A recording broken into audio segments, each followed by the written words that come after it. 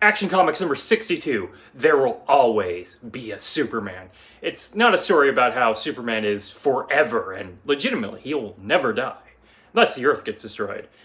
Then there are bigger problems at stake than Superman dying. No, this story is a weird story that's being told from the future where Superman's still alive, but it's all mainly about Superman saving a fishing village from Nazis in their underwater secret base wow, they finally figured out how to do World War II stories that honor the power level of Superman. Just bonkers.